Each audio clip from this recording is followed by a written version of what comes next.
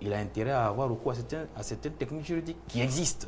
Et donc, Madame Quadio, qui a fait 13 ans avec des enfants et des biens, et aujourd'hui, le monsieur veut la laisser. Il ne veut pas la laisser. C'est ça, hein, il veut la laisser, il, veut pas. Il veut, il veut pas. Il ne veut pas faire le mariage voilà. civil. Bon, il ne veut pas faire le mariage civil. Oui, elle l'a dit également. Il va avec quelqu'un d'autre. Et donc, la femme s'inquiète, notamment pour ce qu'ils ont construit ensemble. Mais il faut savoir que le droit n'a pas, pas ignoré cette situation. Grâce à ce qu'on appelle la théorie de la société des faits, qu'est-ce que ça veut dire? Monsieur et madame, ou bien vous, mais là, euh, mais là on ne vous traite pas comme des époux. On vous traite comme des associés. Des associés. Voilà. Donc, vous avez fait ce qu'on appelle une société des faits, de laquelle les résultats des biens. Parce qu'une société, c'est quoi?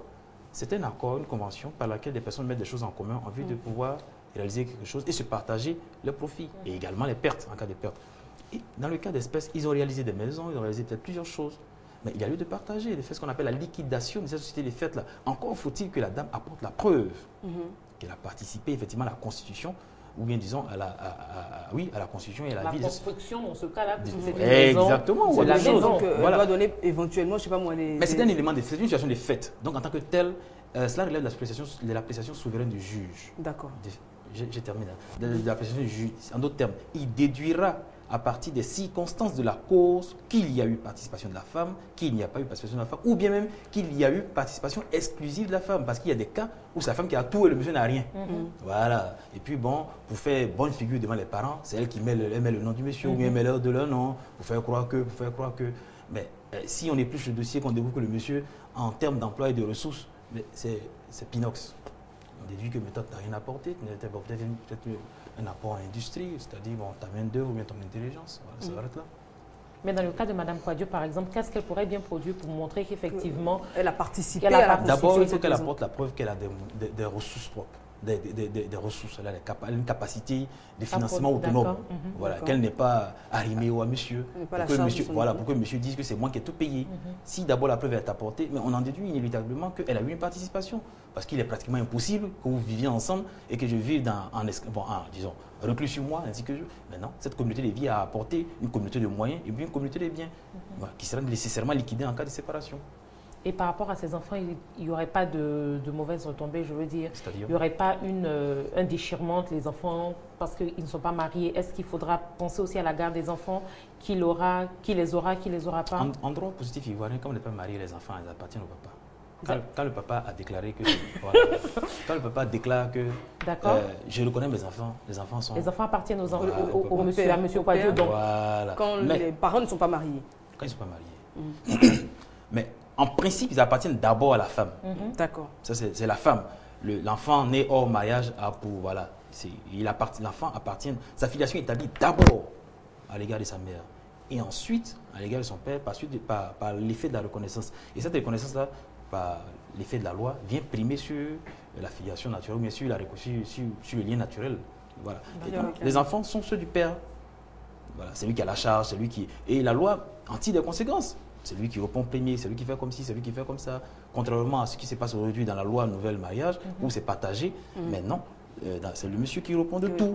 Voilà un avantage aussi de la femme non mariée. Monsieur, monsieur nous appelle de Soubri. Allô Oui, bonjour Monsieur So. Oui, bonjour madame. Merci d'être avec nous. On parle aujourd'hui des droits de la femme oui, non mariée. Intervenir, s'il vous plaît. Oui, on vous écoute. En fait, je voulais un peu soutenir l'appel de M. Poidieu qui a appelé en disant que voilà, on peut changer, euh, euh, comment, comment dirais-je, les lois, puisque c'est les hommes qui les, qui les fondent. Mm -hmm. ben, actuellement, nous sommes dans un pays bon, euh, un peu islamique, un peu, un peu chrétien. On n'oublie pas aussi les animistes.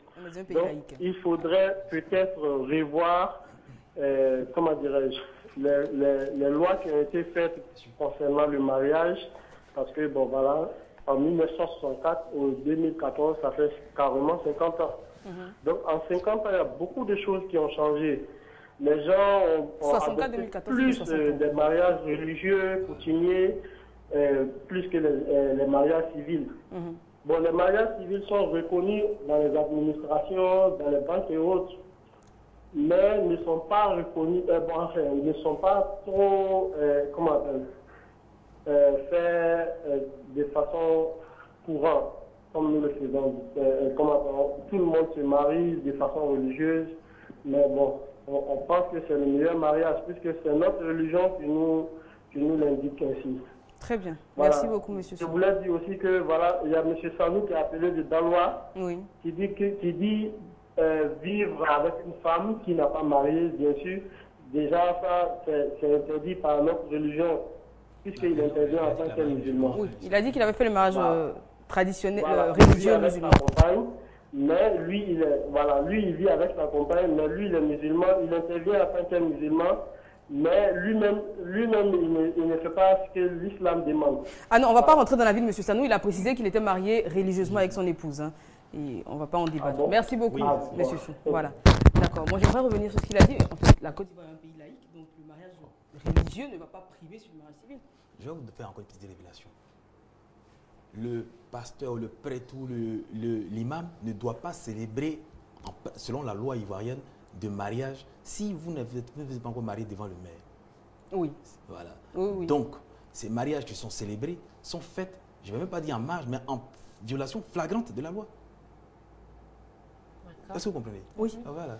Donc, il faut passer, devant, l'officier d'état civil avant d'aller devant l'officier du culte. C'est comme ça, c'est ça, c'est ça la logique. On ne fait pas avant ou on ne fait pas comme on veut. Malheureusement, c'est la loi. un imam ou un prêtre ou un pasteur qui célèbre une union religieuse alors que le, couple n'est pas marié. Euh, comme une violation de la loi qui engage sa responsabilité. Et ça, c'est prévu dans, dans, nos dispositions, dans les dispositions de notre droit positif. D'accord. Monsieur Bokoum nous appelle du Mali. Monsieur Bokoum? Oui, madame. Bonjour monsieur. Ça va? Oui, je vais bien, merci. Et vous? Je vous appelle au Mali à la raison de moi jusqu'au cercle de Douaza. C'est un peu loin. D'accord, on vous écoute. Oui. D'accord, mais comme je suis votre télé RPID, oui. je vois directement vous parler de l'islam et je, connais pas l'islam. D'accord. Alors on parle aujourd'hui de mariage, de, des droits de la femme non mariée. Hein, c'est ça le thème du jour. Oui, je vois écrit. Voilà, c'est le thème du jour non marié n'a pas de droit, il doit rester chez elle et rien faire. si nous parlons réellement la religion, ce que nous connaissons et ce que nous avons dit dans le Coran, une femme qui n'est pas mariée, qui est chez vous, qui reste là-bas. Maintenant, tes parents, et si un bon musulman sait que la religion même islamique du il faut que ton père t'annonce dans la mosquée, j'ai une fille qui a l'âge de marier, d'être mariée. Celui qui n'a déjà. Si eux, le vieux là ne dit pas comme ça, ça veut dire que lui-même est hors de la loi. Mais nous n'appliquons pas maintenant la loi, ce que nous avons dit. Je m'excuse. Et il y a un monsieur qui a appelé, il dit qu'il s'est marié religieusement, mais il n'a pas fait ça officiellement. Ce n'est rien. Si tu t'es marié religieusement, ça va, c'est bon. Maintenant, les autres là, c'est nous-mêmes que nous avons fait ça. Il faut être civilement parce que oh, la, la monde moderne là. parce que vous comprenez, madame, vous Milo, je le vois rire. D'accord, merci beaucoup. Je suis très content de vous avoir parce que je suis régulièrement à la télé ivoirienne. Merci beaucoup. J'étais en Côte d'Ivoire vers le 119-80 et je suis content. Je vous suis jusqu'à présent. Merci beaucoup. Merci, monsieur beaucoup. Merci. Merci. Très bonne journée à, vous. Pardon. Alors, on va recentrer les choses. On parle aujourd'hui des droits de la femme non mariée. On a parlé de mariage religieux. Euh, des téléspectateurs ont appelé euh, pour euh, donner des exemples, par exemple, mais ce n'est pas ça le thème du jour. On parle des droits de la femme non mariée. On a défini donc les femmes non mariées. On en est donc à leurs différents droits. On en est au mariage traditionnel notamment. Mais on va passer peut-être au cas de, de ces femmes mariées, mais qui ont vu leur mariage annulé. Exactement. Quelles sont les causes, par exemple, d'une annulation de mariage Bon, les, par cause, je vais vous donner un exemple simple qui est beaucoup légion d'ailleurs, c'est la bigamie. Monsieur est marié, il ne vous dit pas, et puis il va se remarier avec vous. Mhm. Ou bien la femme est mariée, puis elle ne vous dit pas, et puis elle va se remarier avec quelqu'un d'autre. C'est un cas de bigamie. Mm. C'est une infraction prévue et punie par la loi, au sens pénal du terme, et ça comporte annulation du mariage qui a été passé. Alors, Hmm. Petite question, un monsieur qui a été marié avec une femme depuis, euh, je ne sais pas moi, 1970 par exemple, ils ne vivent plus ensemble, ils sont séparés, ils ont fait une séparation de corps, chacun a refait sa vie, mais ils n'ont pas, Divorce ou bien ils n'ont pas, ils n'ont pas divorcé officiellement, mais euh, ils ne sont plus ensemble, chacun a sa vie, etc. En fait, quoi, chacun vit comme il veut. Chacun vit comme il veut, la femme a un, nouvel homme, monsieur rencontre une nouvelle femme, et puis, et ça fait, ça fait même 15 ans, 20 ans qu'ils ne se sont pas vus, mais ils n'ont jamais divorcé ce monsieur, ce monsieur, pourquoi me regarder comme ça? Ce monsieur-là euh, rencontre une, nouvelle femme qui l'épouse. C'est un cas de bigamie. C'est un cas de bigamie flagrant.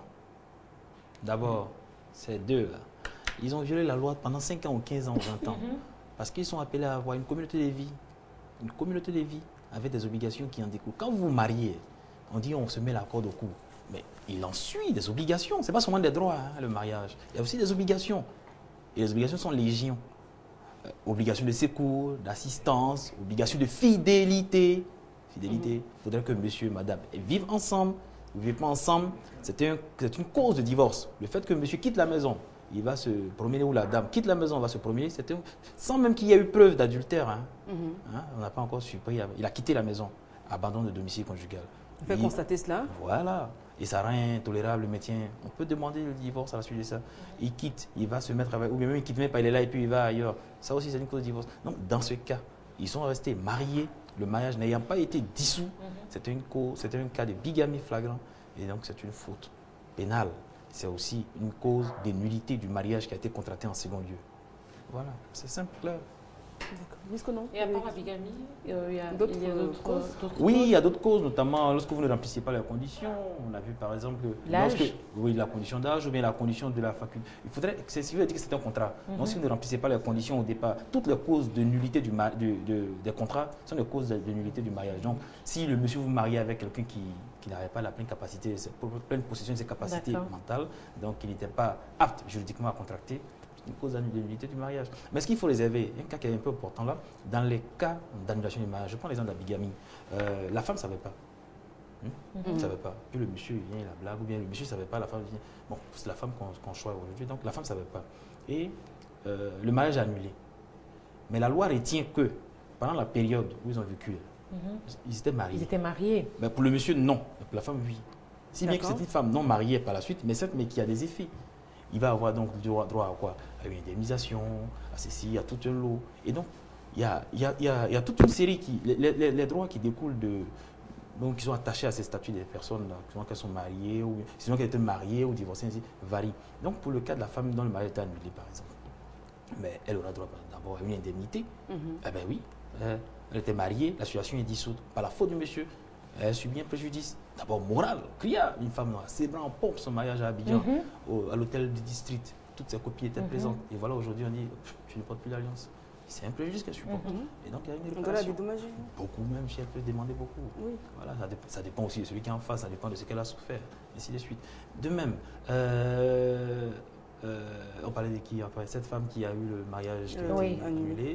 Et euh, de même, elle peut garder encore l'avantage de porter le nom.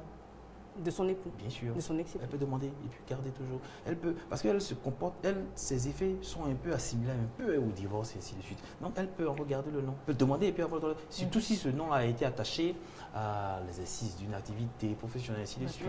Euh, donc on la connaît sous son nom de femme mariée, elle a intérêt donc à préjudice. Exactement. Euh, il sera encore le cas pour la femme dont le mariage a été ici annulé bon, ça me revient, je vous dis. D'accord. Moi, j'ai une petite question à vous poser. On va, on va, on va faire un, petit retour en arrière, toujours dans le cas de la femme euh, mariée traditionnellement. Il y a une question que j'avais notée. Alors, une femme mariée traditionnellement pendant 20, euh, voire 30 ans, qui n'a pas d'enfant avec son, son époux, mhm. en cas de décès de cet époux-là, qui a eu des biens, donc euh, des maisons, des, des, affaires, etc. Il n'a pas fait de, de, de, testament non plus, disant qu'à son décès, sa femme hériterait, bénéficierait de tout ce qu'il a. Une, telle femme, au décès de son époux, qu'est-ce qu'elle devient? Est-ce qu'elle peut quand même prétendre à quelque chose? Zéro. Je réponds simplement, hein, pour qu'on mm. puisse comprendre. Zéro. Elle n'a droit à rien. Pourquoi? Parce que la loi a défini les successibles, c'est-à-dire ceux qui peuvent prétendre à la succession. À la succession. Il y a premièrement l'enfant. Et c'est là hein, qui est quelque chose qui est intéressant. La loi n'a pas distingué suivant que je sois enfant naturel ou enfant légitime. Pas du tout. Donc, je suis enfant de femme mariée, je ne suis pas enfant de femme mariée, peu importe. L'enfant. Deuxièmement, il y a les frères et les sœurs. Troisièmement, il y a les ascendants, père et mère, ainsi de suite. Et enfin, la femme mariée. Pour revenir donc à celle qui n'est pas. Comme vous voyez que dans la classification qui a été faite, il n'y a pas de femmes non mariées. Mhm. donc, et encore, la femme mariée, même, elle est bien, elle est, bien, elle est bien classée. Non, hein. elle n'est pas bien classée. Elle est, bon, en tout cas, elle est classée. Mais, mais attendez, il faut comprendre elle a vécu 40 ans avec le monsieur, elle été machin, tout ça, pendant les 40 années parfois c'est elle qui suit, qui sait où c'est, tout ça. Donc, euh, oui, mais là, par, rapport au classement que vous faites, elle est après les frères et sœurs du monsieur. Après l'enfant, les parents. et, en fait, et ensuite, c'est lui. Non, non, elle, euh, non, ce sont, les, ce sont les enfants qui, qui expulsent tout le monde. D'accord. Quand les enfants ne sont pas là, ensuite viennent les frères, les frères et sœurs qu'on appelle collatéraux. Maintenant, elle partage avec eux, mais elle ne monte pas avec les parents. Elle partage avec eux, et encore avec notre part. Mhm. Mais avec les parents, ça pas, monte un peu lorsqu'il n'y a pas de, voilà, de sœurs. Donc, en fait, dans le mariage civil, il n'y a pas, vous formez une seule chair Si, vous formez une seule chair. Mais alors, pourquoi je forme au niveau On n'a pas dit que vous faites le même patrimoine. On va prendre ce thème. Monsieur Kofi. Monsieur Kofi, allô? Bonjour, Monsieur Kofi. Euh, bonjour, madame. Merci d'être avec nous, on vous écoute. Euh, S'il vous plaît, vous voulez intervenir un peu, auprès de, monsieur le jury. Oui. nous, qui avons les parents qui avons les défenses depuis 40 ans, mm ils font comment Depuis 40 ans Oui. Parce qu'ils sont mariés depuis le mariage traditionnel. Mariage traditionnel euh, depuis 40 ans. Depuis 40 ans, ils ont des femmes, qui ont travaillé ensemble. Ils font comment En ce cas. Très bien, monsieur Aziz va répondre à votre préoccupation. La question du mariage traditionnel était, déjà traitée et puis évacuée. Nous avons dit quoi? Que le mariage traditionnel a eu, a eu la possibilité, jusqu'à une certaine période, euh, jusqu'à une certaine période, de devenir mariage civil. Il fallait donc sacrifier ou bien respecter la procédure qui, était, qui, a, été, qui, a, été, qui a été prévue à cet effet. Faire une déclaration, voilà, voilà, je suis marié avec madame tant, tant, tant, on était mariés dans mon village, mais ainsi de suite. Paf, et puis on devient mariage civil. Donc si c'est même depuis 40 ans, 80 ans, 60 ans, 2, 3, 4 femmes, il y a deux qui ont eu cette possibilité-là. Ils avaient 2, 3 femmes, mais ils sont mariés sous le régime de la loi coutumière à 4 mhm. femmes. Donc ils ont présenté, puis ils ont régularisé. Mais avec, avec, avec une seule? Non, pas avec une seule.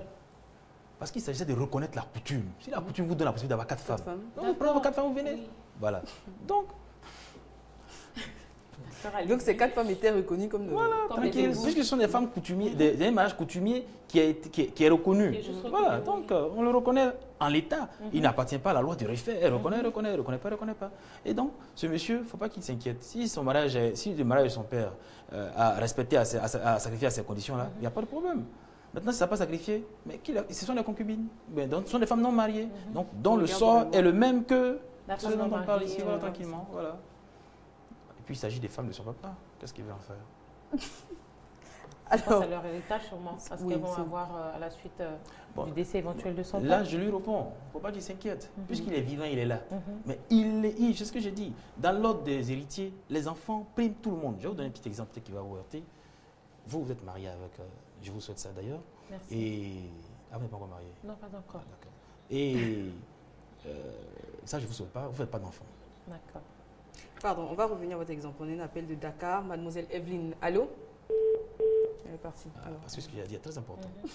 Maintenant, euh, vous ne faites pas d'enfant et vous avez une gouvernante qui, par la magie de je ne sais quoi, arrive à en faire à votre mari. Mhm.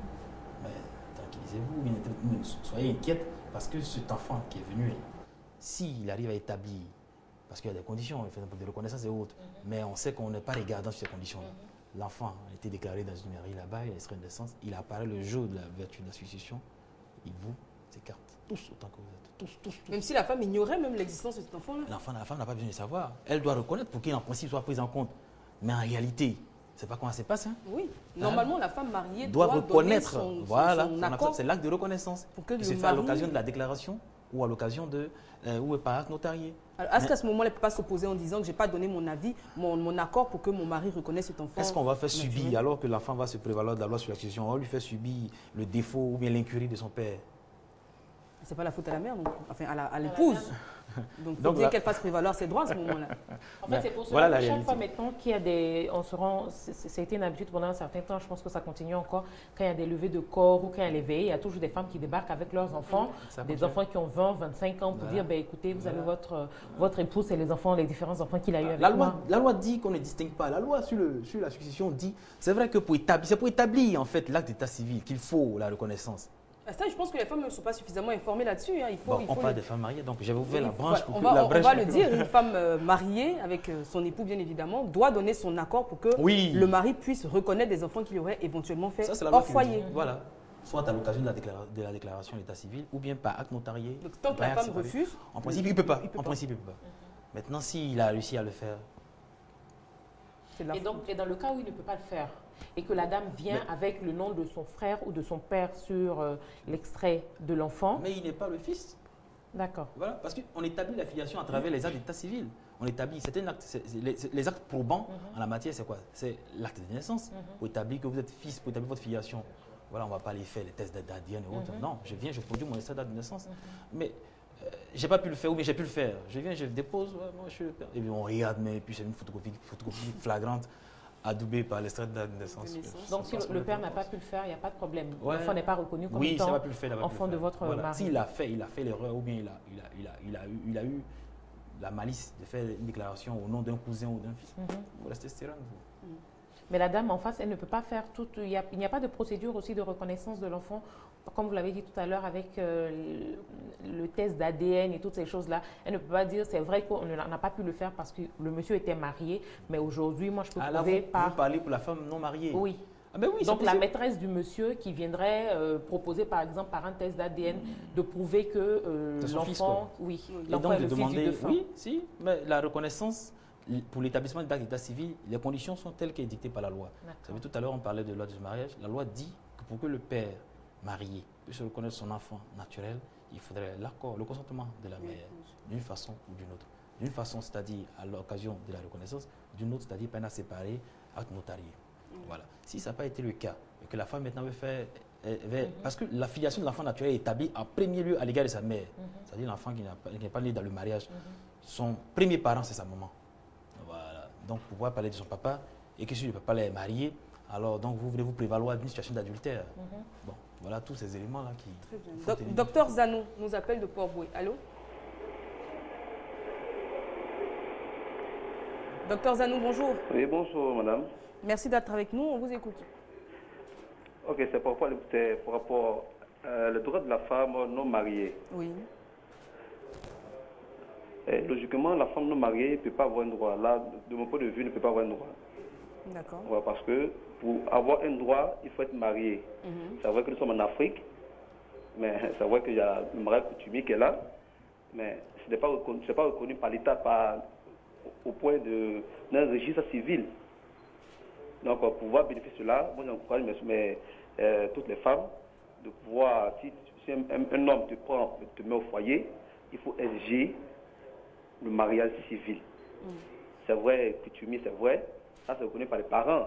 Mais si jamais il y a un problème, l'homme peut dire, tu ne donnes rien, il a fait le droit de te donner. Et maintenant, si par complaisance, la famille est gentille, elle peut te donner quelque chose. Mm-hmm. Mais il est toujours de pouvoir se marier. Voilà. je peux pour saluer en même temps mon frère Ansel. Voilà, j'ai son docteur à vous citer là. il vient par moi à la pharmacie, il les médicaments. Donc, je peux pour vous donner un petit bonsoir. D'accord, merci beaucoup, docteur. Ok. Alors, c'est bien ce que M. Aziz Ansel ne cesse de nous dire depuis le début de cette émission. La femme non mariée, on le comprend, n'a véritablement aucun droit. Oui, n'a pas de droit en ce sens qu'elle n'est pas dans une situation juridique, mais des droits peuvent lui être, peuvent, découler de sa situation. C'est ce que je mm. disais. Je prends un exemple. Hein. Vous vivez avec une femme, quand vous êtes marié, vous avez un devoir de secours et d'assistance. C'est-à-dire, je dois vous nourrir, vous devez me nourrir. Hmm. Maintenant, on vit en concubinage. Je dois être affamé, je m'en fous, je, suis là, je vous enferme dans la maison. Non, non, non, non, non, non j'ai un, un, devoir d'assistance. Mhm. Hein, en, vertu de la théorie de l'assistance des personnes en danger, vous êtes là, je vous laisse à la femme. Non, non, non, j'ai un devoir d'assistance. Voilà. Ou bien vous avez un besoin qui est, qui est, fondamental, qui est, qui est crucial, de santé. j'ai un devoir d'assistance, comme à l'égard de n'importe qui. Donc la femme non mariée s'inscrit dans le large contexte de la théorie générale du droit. C'est dedans qu'on retrouve ces droits. Voilà. Bon, parce que en fonction de sa situation ou de, cohabitation, donc elle va rassembler quelques droits et pas, c'est tout. Donc, la théorie de l'assistance des personnes en danger, la femme elle, est malade, faut, il faut la soigner. Si vous ne la soignez pas, il y a un problème. Vous allez voir que non, ce n'est pas une affaire de juger. Une femme n'était pas mariée. Hein. Mhm. Vous n'avez pas porté assistance à la personne. Et là, il y a des peines de prison, mm. amende. Voilà. Alors, la femme non mariée, certes, mais ayant eu des enfants avec son conjoint, elle a un peu plus de droits? Oui, oui, oui, oui, et même beaucoup plus. C'est la plus heureuse, d'autant plus que d'abord, je vous ai dit, c'est la représentante de ses enfants mineurs, et puis elle a le poids de ses enfants, même s'ils sont majeurs, et ainsi de suite. C'est la plus heureuse. Voilà, elle représente ses enfants mineurs, sauf, si je vous ai dit, si le père les a reconnus. Si le père les reconnaît. Ah, s'il les a reconnus, quand ils sont vivants, hein, quand, le monsieur va, décider, c'est la dame qui a l'exercice de la puissance paternelle. Et en tant que telle, c'est elle qui va parler en leur nom et pour leur compte. Je prends un exemple. Monsieur, c'était Madame Quadio qui a des biens avec son monsieur, ainsi de suite. Et par, un coup du sort, le monsieur arrive à décider. Alors que les parents du monsieur, étaient en train de lorgner les biens, hein, ils attendaient pour... Et donc le monsieur, il décède. Qui vient à la succession? Ce sont les trois enfants qu'elle a eus. Et personne d'autre, ni le père, ni la mère, ni le frère qui aura payé les coûts, bien ni rien de tout cette, ce groupe-là. Dans la dame, Madame Quadio, en tant que tutrice légale de ses enfants mineurs, s'ils sont mineurs, vient en représentation à l'occasion de la succession, tout simplement. Mm. Parce qu'elle va agir au nom et pour le compte de ses enfants mineurs. Pas pour son compte, mais pour le compte de ses enfants mineurs. Et on sait comment ça se passe. Toujours cette femme-là, même, cette même femme qui n'est pas mariée, mais qui a des enfants avec euh, mm. euh, son homme, euh, en cas de séparation, on va dire, elle a le droit de demander une pension alimentaire pour mm. s'occuper de ses enfants-là si les enfants sont à sa charge. Si les enfants sont à sa charge, bien sûr. Sinon, de facto, les enfants sont censés être à la charge du père. Bien sûr. Encore faut-il qu'elle établisse d'abord qu'elle a la puissance paterne, qu'elle a plutôt l'administration hein, l'administration des enfants. C'est elle qui a la, tutelle de véritables enfants, au sens que c'est elle qui, qui pourvoit à leur scolarité, qui pourvoit à leur entretien, à leur santé, à leur nourriture, à l'éducation. Alors elle a en droit de solliciter, de demander, d'obtenir ce qu'on appelle une pension alimentaire au profit des enfants mineurs. Mineurs uniquement. Mm-hmm. C'est-à-dire qui ont moins de 21 ans. Mm. Voilà et cela avec son statut de femme non mariée hein. Oui, bien sûr.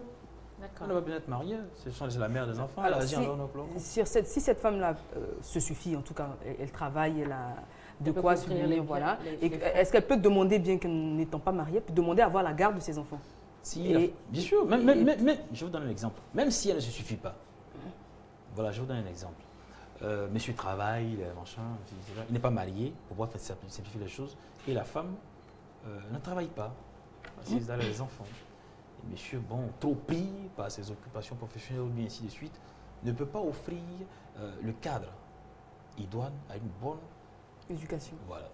Mais la femme est en droit de demander et d'obtenir et, eh la garde de ses enfants et le paiement au profit des enfants, mais entre ses mains, en tant que tutrice, si elle est désignée comme tutrice, donc le paiement d'une pension alimentaire au profit de ces enfants mineurs, jusqu'à mm. ce qu'ils atteignent leur croissance. Les frais d'écolage, les frais d'éducation, les frais de, nourriture, ainsi de suite, seront à la charge du mari qui va les payer versant les mains de la femme non mariée. Très bien. Nous sommes pratiquement au terme de cette émission. Merci beaucoup, Ms. Conan. Pour, euh, Merci, mais euh, c'est vrai que moi j'ai un petit appel quand même aux différentes, euh, à nos différentes téléspectatrices. Aujourd'hui, je pense que c'était le cas quand même de recevoir un certain nombre d'appels de femmes parce que ça fait pratiquement six mois que ce sujet-là ressemblait être assez crucial dans les différents appels que nous avons eus. Euh, bah, j'espère que demain, on aura plus oui, Demain, on sera encore euh, en votre compagnie, très chers téléspectateurs, avec ce même thème et M. Azi. Donc, on espère avoir plus de cas pratiques, mhm. euh, comme Mme Quadio qui nous donnait donc son exemple. M. Azi sera là et très heureux de répondre à vos différentes préoccupations. Merci encore, M. Azi. Et puis, je rappelle que cette émission a été réalisée par Félicité Soro. Juste après cette émission, vous aurez la rediffusion de votre émission Entre les lignes. On se donne rendez-vous demain dès 13h15. Restez sur RTI2, nos programmes continuent. すいません。